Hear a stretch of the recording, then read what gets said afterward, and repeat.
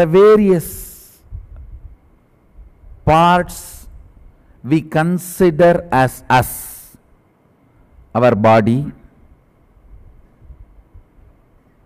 physical body, then physiology, then psychology, then consciousness. The various components of us. Understand? At different time in different periods we had a breakthrough in different level from amoeba one cell to fish when you were growing you had a physical breakthroughs.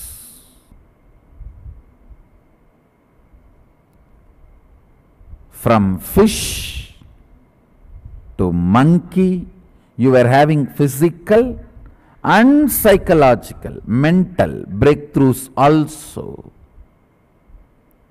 From monkey to man you were having physical mental means psychological and conscious breakthrough.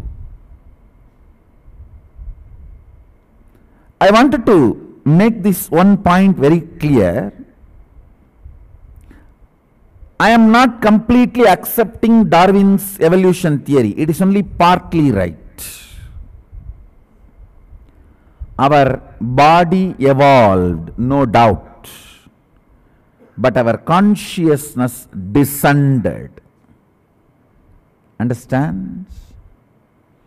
Body evolved from amoeba to fish, fish to monkey, monkey to man. Body evolved, no doubt.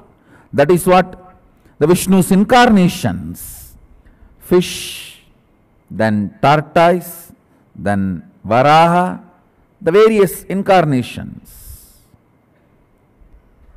Body evolved, no doubt.